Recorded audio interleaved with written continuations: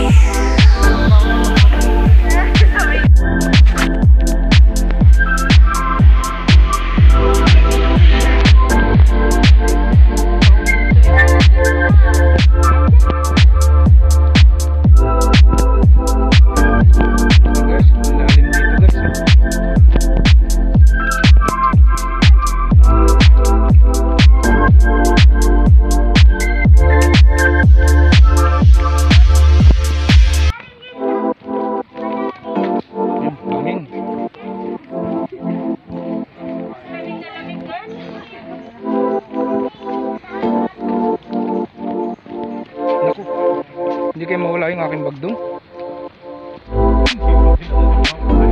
Posibilidad na mawala yun.